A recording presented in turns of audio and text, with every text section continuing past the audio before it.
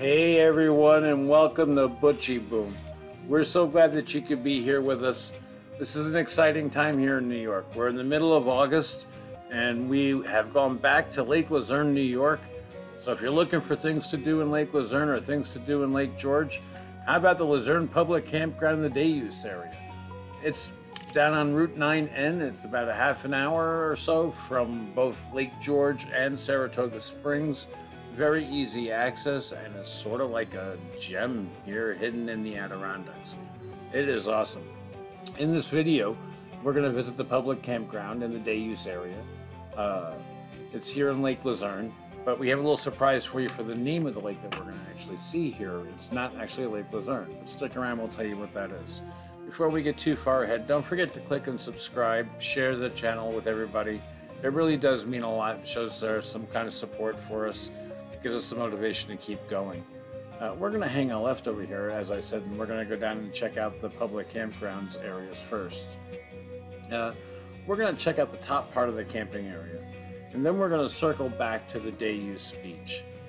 Um, so back to the name of the lake. This is actually Fourth Lake. That's the name of the place. Fourth Lake, folks. The address for the campground is 892 Lake Avenue in Lake Luzerne, New York. So I'm a little bit confused, but that's okay. So just want to give you guys a couple of pointers here really quick. The roads are really narrow. Um, the sign limit that we just saw was 15 miles an hour. Uh, believe me, you can't go much faster than that. It, it's a very bumpy ride.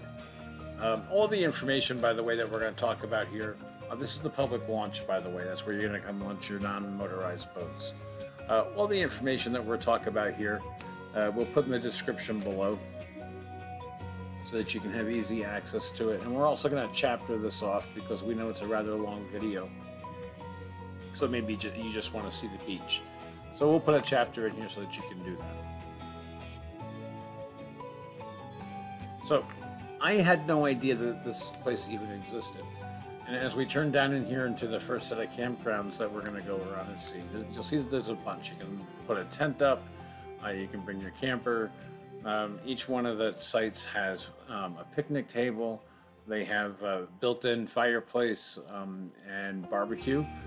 Uh, so it looks like you know that you can have reasonable fires and you can bring some charcoal to cook your food. Uh, the activities here at the lake or, at, or at the uh, campgrounds are they say there's swimming, there's fishing, there's boating, there's horseback riding, and volleyball. Uh, they have 174 tent and trailer sites, and we're seeing some of those now. Uh, my uh, camera holder a little loose during with all the bumps, but you guys get the gist of this. Um, so there's 174 tent and trailer sites. Uh, they say there's hot showers, there's flushable toilets, trailer dump station. There's a recycling center that we passed on the way coming down here. Um, there's a picnic area, a picnic pavilion, a swimming beach, 22 horse paddocks, rowboat, canoe, and kayak rentals, and of course you can bring your own. We're going to go down here and we're going to hit one more of the camping areas so that you can see what they look like. I think they all pretty much look the same. I did not really plan on coming here.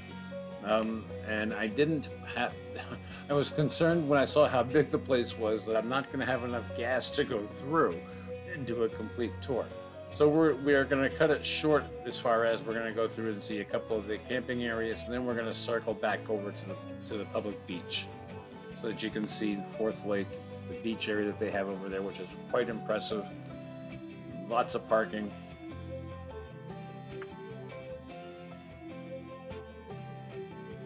As we pass up here, this brown sign. Now this is the Field of Dreams huge, huge field. You can have one whopper of a softball or a kickball or something going on over there. Um, it looks like it's a lot of fun. Huge, huge, huge piece of uh, land over there. And it looks like it was dedicated to somebody, and of course I was going too fast to see. So maybe you can let me know in the comments below. I would really appreciate that. Again, when we're riding through doing the videos, we're absorbing so much information so fast. So I want to bring your attention really quick to the trees here. You see how tall these trees are? These trees are 30, 40 feet, I'd probably say all day long. Um, Have you ever seen on top of these trees what it looks like on top of the trees? We have. Uh, there was a 73 foot, or there is a 73 foot fire watch tower right here in the Adirondacks, about 20 minutes or so from our, the current location here at Luzerne. It's a Spruce Mountain. We're going to throw the thumbnail up because you guys may be interested in, in going there. It's completely free.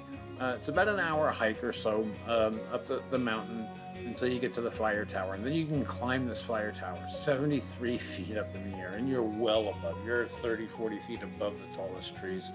You can see the Vermont, you can see clear um, in, in any direction, just spin around. Uh, other than one cell phone tower that seems to be up there, the sights are just absolutely gorgeous. It's completely free, like I said.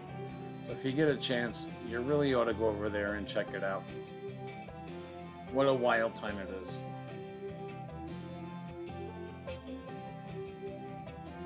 You know, and of course, where you're at right here at the in Lake Luzerne, so you're really close, of course, to Lake George, close to Saratoga Springs and the track, the harness track. Um, there's so much to do, if, and there's SPAC, so if you happen to be here during SPAC season, um, you can check the SPAC schedule if you go to butchyboom.com and click on the social tab. We make it really easy to see who's playing at SPAC. Well, because we like to be there. so I'll give you some more information as we head back over here towards the uh, the beach. Um, the quiet hours of the park are at 10 p.m. to 7 a.m. and they say that they're strictly enforced. They say that you can bring a generator. Um, they limit the hours that you can use it though, um, and it can't be a real noisy one. They said that you can use it from 9 a.m. to 11 a.m. and again at 4 p.m. to 7 p.m. daily. Other than that, they really discourage it. Um, they want you to know that they do provide the uh, recycling area and they encourage you to, to take out what you bring in. Um, let's see, what else do they want you to know? Uh, camping permits can be issued for up to two weeks, um, and it's open from July 1st through Labor Day. That's pretty cool. Uh, campfires must be built in the fireplaces provided and should never be left unattended.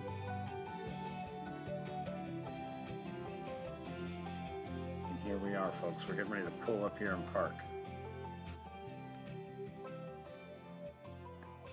So they want us to know that the uh, maybe times when the beach um, and swimming is closed when they don't have a lifeguard on. But as you can see, they got campgrounds and they got the barbecue grill. But they've got more than this. There's lots of them. So bring your food. And by many of you have heard of uh, Oscar's Smokehouse. They have their smoked meats. Um, they're famous all over the place. Of course, Rachael Ray made them famous through her talk shows and stuff. But they're not far from here either. And we did a video on Oscars. Uh, so we'll throw some thumbnails up. And if you're looking for other things to do in Lake George, uh, there's the Minnehaha if you're looking for things to do in Saratoga. Um, they even have some nice golf courses down there. They have all kinds of things. Saratoga Winery. There's all kinds of stuff to do. We've got videos all over our channel for, well, for almost everybody. So you got to go check it out. Hey, you may find something that you didn't know was there and that you're quite interested in. Hmm, wonder what that could be. So as we walk down, it's a little steep of a hill. Take your time.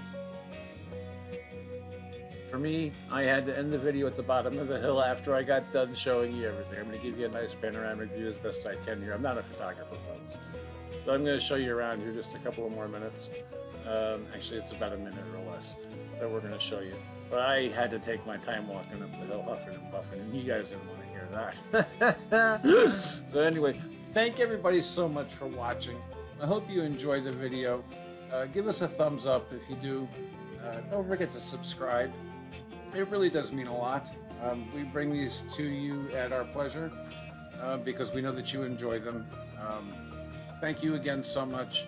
Have a wonderful summer, an awesome fall, and enjoy upstate New York and the Adirondacks. Thank you so much for watching. Watch for our other videos. We really do appreciate it.